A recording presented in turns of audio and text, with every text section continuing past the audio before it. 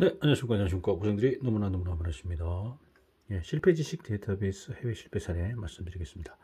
제목은 제휴소의 중유 탱크의 잔류 유분에 의한 탱크 보수 공사 중에 화재 발생인데요. 예, 지으신 분들은 약창정영연구원님, 전천장선 교수님이 되겠습니다. 중유고요. 84년 6월 4일 일본 카나카와현의 제휴소고요. 기후를 보시면 중유 탱크의 지붕을 용단 후 화재가 발생되었습니다. 음, 산소 절단기 같은 걸로 썼겠죠. 일단 소화된 화염이 재연소되어 소방서로 통보했고 용단전에 세정을 했지만 철골과 지붕부의 녹 스킬 내에 녹 내부에 생각지 못한 양의 녹이 결국 다공질이다 보니까 그 속에 이제 들어가 있던 거죠. 유분이 부착되어 있었다는 거죠. 시설 관리자와 교체 작업자의 사이에서의 안전 작업에 관한 인식의 상의와 정보의 전달 부족이 생각된다 이렇게 현황 보시면 저희서 중위 탱크를 대기 개방하여 개조공사를 수용하였고 탱크의 지붕 일부를 용단하였는데 그 후에 화재가 발생되었고 일단 소화했지만 재연소되었다는 거죠. 프로세스는 저장, 그 다음에 액체, 연료는 중류가 되겠습니다. 화재 사고고요. 경고 보시면 이제 7월 5월 7일에서 6월 1일 히팅콜 교원의 탱크를 비우 청소 수행 6월 4일 11시 15분에 중위 탱크 지붕 일부 용단 용단 후에 화재가 발생 일단 소화했지만 화염이 재연소되어 소방서로 통보했다 이렇게 됐고요. 포소와 의한 소활동을 종료했다.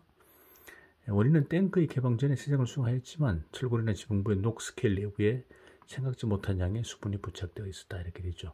보통 이제 녹이 발생되면 이제 빨간 녹이죠. 빨간 녹 Fe 이제 two O3 같은 예, 이런 녹이 이제 음, 일반적으로 이제 발생되는데 결국 다공질이잖아요. 완전히 치밀하지 않잖아요. 다공질이다 보니까 다공질 속으로 요번에 이제 들어가 있었다 이제 그런 내용이 되겠는데요. 예, 그리고 대책 보시면 화계 사용 공사에는 하청 공사 책임자가 입회해야 되고 화계 사용 공사와 중개공사는 회사 측이 책임을 가지고 수행하든지 위탁하는 경우 책임자를 둔다. 공사 종료 후는 충분한 시간을 가지고 회사 측, 하청 측 책임자가 안전을 확인한다. 공사 전에 연수위험물의 배제를 철저하게 한다. 이렇게 되어 있잖아요. 예, 지식과 보시면 보수 등에서는 하청 측이 위험 개수 물질 위험을 파악하지 않는 경우가 많기 때문에 하청 측으로 위험 정보 전달, 안전 확인을 측정해 수행해야 된다. 이렇게 되어 있고요. 배경을 보시면 화계사용 공사 전에 위험물의 배제가 불충분하였다는 거죠.